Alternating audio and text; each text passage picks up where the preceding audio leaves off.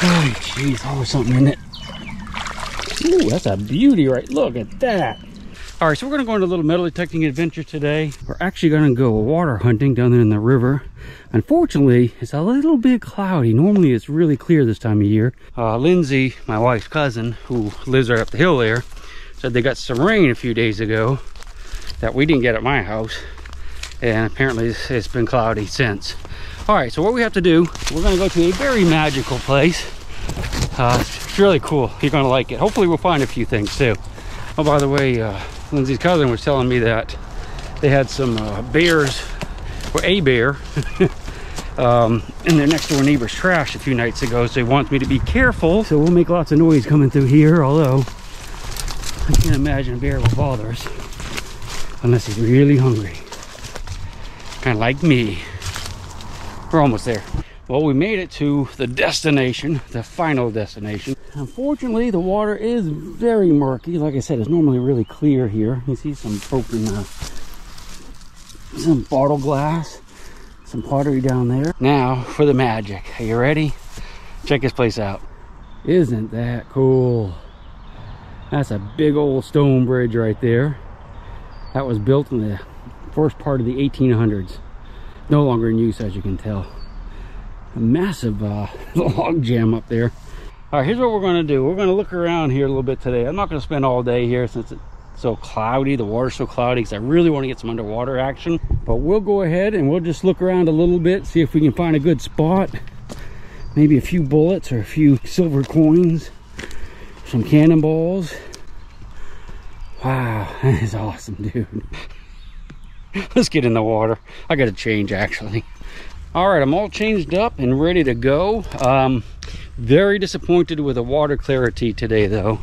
Like i said um, probably not going to stick my head underwater so we'll just go we're going to just go shallow. I think we'll go along the banks here maybe see if we can eyeball some coins or some arrowheads or civil war bullets or anything like that. We'll also get down to some of the shallow water right along the edges I'm gonna go on the other side as well and see if we can find no swimming hole. Maybe there'll be some good coins or whatnot. And then we'll come back when it's more clear. Uh, give it a couple days and this thing will be like crystal clear. So I haven't gotten very many good non-ferrous signals yet, and I've only come about 50 feet or so. Still, I would have thought I would have got some sinkers or something by now, but this is my first uh, decent non-ferrous signal. I mean, it's not iron. I thought we'd go ahead and dig that together, although I'm not gonna be able to put you underwater because you won't see anything. All right, you ready? Listen. the uh, bottom uh, kind of muddy, but it's pretty hard. So shouldn't have too much trouble retrieving stuff here.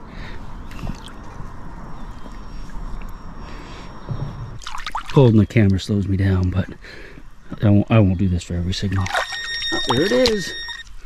Okay, that's our first target that isn't a nail or a spike. And that looks like it's probably a toy car. Not sure what that kind it would be. Could be wrong, maybe it's a little bus or something. But yeah, so that's like a pot metal, white metal. Uh, have to dig those kind of signals when you're looking for big old pieces of jewelry.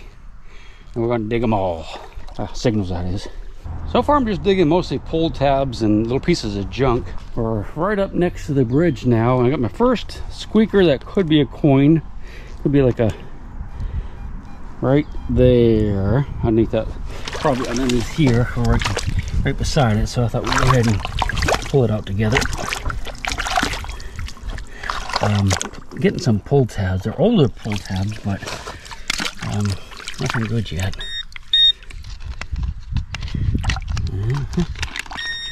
I moved it, so whatever it was was right by that rock. You see it? it might, oh, that it right there? All right, so what we have is a little piece of copper of some sort. Thin copper that I just broke. Looks almost like the um, uh, part of a pocket knife, the little sheaths, uh, sheaves where the blades slide down between. I'm not saying that's what it is, but it kind of reminds me of that. Yep, that's it. All right. Sounded good though. I'm looking around up here to see if there's any bottles or anything falling out of the bank, but haven't seen any yet. Lots of raccoon tracks. See them all down through here. Yeah, boy, hmm, that's too bad. About it being so cloudy and these arches here being completely blocked. Because it's not uh, dragging the silt out of here, it's kind of filling it in. Dug a little piece of zinc. This is probably from like a mason jar lid or a ball mason canning jar. Uh, you can see there's lots of pottery in here. There's more here. Oh, looks kind of weird. Looks older than that for sure. Um, I'm getting a few signals in this area. I've heard another one up here. Maybe we'll dig this one together. I haven't dug it yet. Um, a lot of iron. I don't know, somewhere up here I heard one. That's a big signal right there. That's probably a piece of iron. You see we're right next to the bridge, so we're getting to the area where people could have thrown stuff over, like guns and muskets and cannonballs and all kinds of good stuff. All right, I'll get you out when I find something good or get at least into a better area than this. Hey buddy, I'm gonna pass you by, don't worry. Let's say if I was a bald eagle, I'd, I'd have had lunch. That's the bank we came up right there, and you see because we have this damage going on right there. Get it dam and also destroyed. Uh, basically the dam's all these logs right here so the water can't come through. So when it floods everything's getting swept back in behind here. You see all these logs and really really silty in here. Uh, not like it used to be back in the old days that's for sure. This was pretty rocky and easy to get around. We'll go ahead and go over to where the current is and work that bank a little bit but man i used to i used to be able to get stuff all the way out through here but you see there's no way now all those logs and silt. At least I don't have time for that. It is a neat old bridge. You can see it's definitely falling apart, unfortunately. I guess the arch isn't going to be around too much longer. I am finding some sinkers and whatnot, so I, I definitely want to come back here when the water clears up we can get our mask and snorkel on and go under and spend some time underwater it's not terribly deep right here but i do have a spot nearby that's um, about halfway up my chest or so and definitely gonna need a mask and snorkel for that and to go underwater and i'm not gonna do that today. We'll keep looking around. I am like i said i am finding some sinkers so there's still some hope. Eeyore. All right here's what we're going to do. I am going to go to a slightly different spot since the conditions here are not good. Uh, you can tell it's, it's kind of deep and I'm not, I don't want to get my uh, ears, nose, and throat underwater because I don't want brain-eating amoebas to attack me. So we're going to go to a slightly different spot. Um, we'll try that. I know a shallower spot that I used to be able to find stuff and I haven't been there in a while, but let's go ahead and check that out.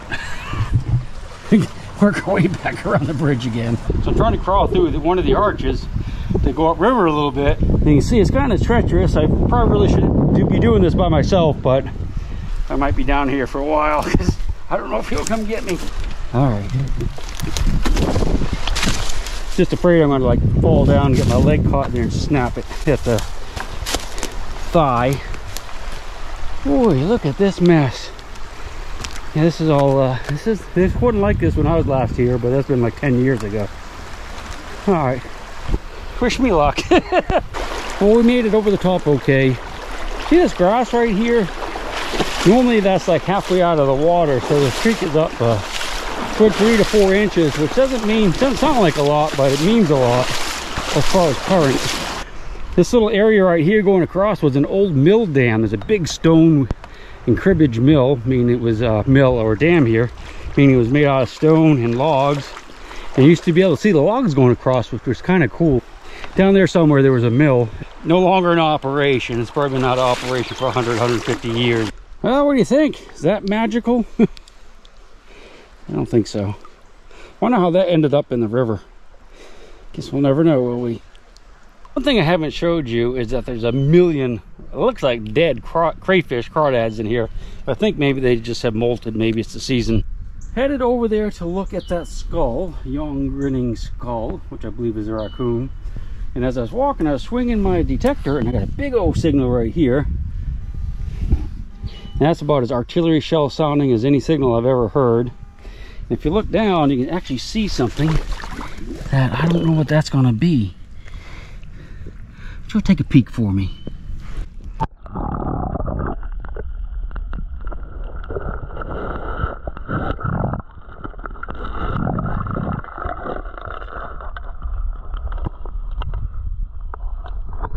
Well, obviously that's not an artillery shell. I don't know, some type of uh, some type of drinking cup.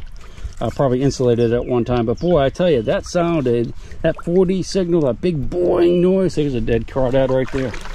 And there's thousands of them in here. But you know what? Let's go ahead and I'm gonna set that down for a minute. Go ahead and look at this dead one and see if he's just molted or if he's all rotted in there. I think they're molting. No, he's rotted in there. Yuck. Let's go ahead and pick up the skull. Oh, jeez, always something in it. Ooh, that's a beauty, right? Look at that. That is a beauty. Look at those teeth. That's a raccoon. It's missing a few teeth. Some of the front ones. Poor little dude. I think I'll keep him. He's kind of cool looking. He'll be our little mascot for the day. What do you say? Now this is a really interesting development. This is a big old chunk of melted lead. And when you're in Civil War country, like we are right now, anytime you find melted lead, it kind of makes you want to think there could have been a camp nearby because they melted a lot of lead in camps. They use the bullets to set, make the fire, the paper from the cartridge. We'll go ahead and keep looking. There's a rock in there too. We're going to keep looking just in case there was like a campsite up here in these fields. And uh, some of the stuff is washed down in the river. That happens a lot. Well, I feel like a whoop puppy. Uh, well, didn't really find much since that piece of melted lead. And that was over against the bank right there. And that was the only thing I found. I went up river, boy, up to those that green area, and then back down this side, which is silted in. But I'm actually standing on the uh, dam. But I just want to show you that. You can see a little bit of it. That's one of the timbers there. There's another timber there. I know it's kind of hard to see, but the water, yeah, there's another timber going out. The base, oh, there's a nice big one here. Look at this. That's good. 14 inches across. So you got these big timbers running that way and timbers running this way. And it would have been full of rocks too. That would have been a mill dam. And I think the race with the water would have gone out that way to a mill that's over in there somewhere or used to be. All right, not too exciting, but we're not giving up yet. Um, boy, I'm almost out of battery already. gotta find, gotta find at least one good object today. Besides that old crawdad right there. All right, made it back to the bridge. Wanted to show you this side of it. Uh, you can see it's really starting to fall down. This is the upstream side. Uh, but just uh, thought it was kind of interesting to look at the rocks, how they made those arches and filled it in with rocks and the rest of it's dirt. That's really old, that iron right there. Now this bridge was built, don't quote me on this, but I think like 180 years ago. Uh, give or take 10 years. Let's take a closer look at that thing. I gotta grab my gear and walk over there. Not a whole lot to see right there, but it's a nice big old piece of forged uh, iron, or could be cast, I guess. That would have been to help hold the bridge together back in the day. You know, that predates this stuff over here. I do believe. There's some plastic up there. I guess they tried to preserve it one, one time black plastic. That's crazy, isn't it? All right, we'll try down here a little bit before we go. Hopefully we'll find at least one good thing today. I hope you hope as well. nice day anyway. It's nice and hot today. It's really humid too.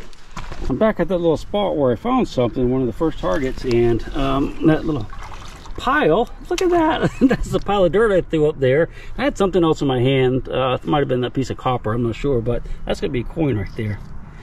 I can't believe I did that. At least we found something today. I threw it away and then I found it again. Oh, the memorial cent. That's not good. That means it's like uh, um, like a newer one. Stinking Lincoln, I think is what they call them. Not even a, not even a wheat penny, but it is a coin.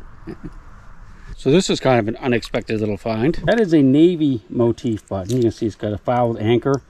Might not actually be military. These were used on uh, men's coats a lot, probably up until the present day. Uh, but still, that's a nice little find. It's a button at least. Can't complain about that. Look at this big old tree that I uh, am standing next to that got washed out of the bank. Don't see any cannonballs sticking out of there, but I did look. came around the corner, had to come up around the corner there, but yeah, so that's a good sign. That means it could be some other stuff in here. A boy can dream, right? This is a nice little signal right here. That could be a coin. Unfortunately, I'm going to have to put you away though because it's just at about my maximum depth without putting my mouth underwater. I'm not going to do that today. Well, it wasn't a coin, but it is a uh, big old piece of copper or brass. This is actually the base to a rifle cartridge, probably 30 odd six. Top is rotten off, rotted off. But yeah, those things sound good. You really have to dig them if you want to dig relics. Well, this is a relic, really. Oh, oh we did. We got another coin. I think that's going to be that's gonna be an Indian head penny right there. That's a beauty. Look at that. It was down there um, about maximum depth for me today, and it was stuck between some rocks. Yeah, that's why it's so shiny, I guess. Oh, that's awesome, man. Well, definitely, I'm definitely feeling it in this spot. Yeah, you got a coin. We're on the board. I have another really good coin signal here but unfortunately the bottom is um, it's really rocking. You got like ledges going across so the coins get down in there. You can barely get to them I can feel it with my finger without the glove but I can't quite get it. If the water was clear we could get underneath there with a mask and snorkel and make it a lot easier but what I have to do is just kind of feel around and try to roll it nails are kind of a mess but that's uh that's actually um, foam insulation. I was doing something yesterday. That stuff doesn't come off. But uh, yeah, I'll go ahead and get this coin out of here. Small. Could be a dime. Could be another uh, Indian head or something like that. But I'll let you know as soon as I get it out. I hate to say it, but I'm going to have to leave that coin. Um, I can just barely get it with my thing in there and kind of move it. But uh, I think if I took my pick and I pried up on the rock and kind of broke it apart, I could probably get it. But I don't want to destroy the coin because uh, we'll come back here. As soon as this uh, we'll give another maybe two three days. It'll be uh, should be clear if it doesn't rain again. I'll go ahead and mark the bank right there. And uh, we'll get I'll get some uh, little forceps or some tweezers or something so we can pull the stuff out of the rocks make it a little easier. This is so frustrating because I have another coin just like that other one that was stuck down in the rock. I can feel it. I can kind of wiggle it just a little bit with my fingers but they're getting my fingers are so soft right now from being in the water that I can't really get a hold of it. So um, I don't want to destroy it with the pick. So we might have to save this one too. It's actually really close to where I found that other one that's stuck in the rock because I kind of dug up a little piece of dirt right there. Mud so that we can find that in a couple days. And I'm um, only out about two, two, three feet from where the other coin was. I'm going to work on this just a little bit longer because um, I really would like to know make sure that they're old coins that are in here because if they are I think it's definitely worth coming back. So this is a nice old piece right here hand forged iron 100 percent. It's probably uh, could easily be as old as the bridge right there so not a bad little find. Looks almost like a stirrup but it's not. It's actually part of uh, i think it's off of a wagon i'm pretty sure. Check out this giant old chain i just found. It's massive that's a beauty too. Um, but you know what? I'm not going to keep it. I imagine it probably went to the bridge. Uh, I don't know if I could preserve that. If you look, it's pretty corroded right there. So by the time I tried to preserve it, probably wouldn't be much left. But that is a beauty for sure, isn't it? Nice. All right, guys, here's the deal. Um, heard some thunder off in the distance and it's starting to rain. So I went ahead and changed and getting ready to head on out of here. But thought we'd look at the bridge from the top real quick before we go. Um, doesn't look too safe for driving. this is where we were uh, looking at it from underneath where those uh, cast iron pieces were. Came around the bank. Man, it's not very uh, not very wide here, is it? Hopefully it'll hold this up, that arch.